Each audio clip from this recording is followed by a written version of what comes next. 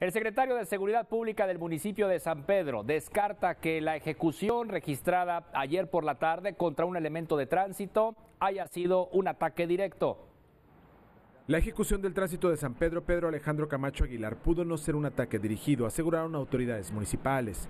El secretario de Seguridad Pública, Felipe de Jesús Gallo, explicó que murió cuando le marcó el alto a los tripulantes de la camioneta tipo nitro gris para que cruzara Morones Prieto una maquinaria. Informó, sin dar mayores detalles, que ese vehículo ya era investigado.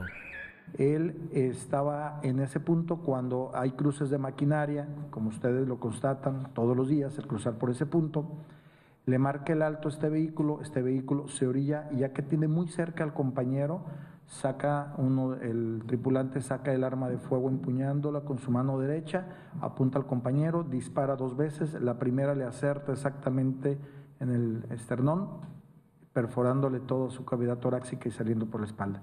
Hay un segundo impacto que pega en el marco de la puerta delantera izquierda del vehículo, la del conductor. Se utilizó un calibre de arma corta. El secretario también informó que esperan que sea investigada la filtración de la fotografía del vehículo donde viajaban los responsables, ya que complicó el caso. No sé cómo, no sabemos nosotros, compartimos la información del vehículo y las placas que habían agredido al compañero y llegó a redes sociales por alguien, no sabemos quién, en forma irresponsable. ¿Por qué en forma irresponsable? Porque gracias a que esa información se compartió en redes sociales, la noche de ayer fue localizado el vehículo incendiado en la colonia Las Brisas de Monterrey, con lo cual simplemente nos complican el dar con ellos, pero vamos a dar con ellos y llevarlos a la justicia. Las autoridades informaron que la familia de Pedro Alejandro recibirá una indemnización de 724.480 pesos, más las pensiones del IMSS. Vicente Valdés, Noticieros Televisa. Bueno, y aquí la pregunta es el blindaje en el municipio de San Pedro Garza García. Hoy habló sobre este tema el alcalde de San Pedro, Miguel Treviño de Hoyos.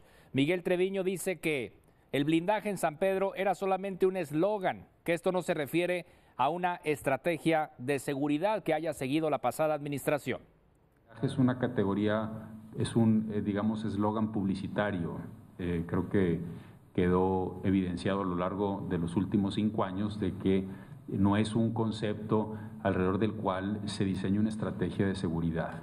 La seguridad de adeveras pues se trabaja en base no solamente a la capacitación de los elementos, al buen liderazgo en el manejo de la Secretaría, y esta tarde, allá mismo en el municipio de San Pedro Garza García, se realizó una guardia de honor en memoria del oficial Pedro Alejandro Camacho Aguilar, ejecutado el día de ayer en Avenida Morones Prieto. Familiares, amigos y desde luego autoridades de San Pedro, compañeros de trabajo estuvieron ahí presentes.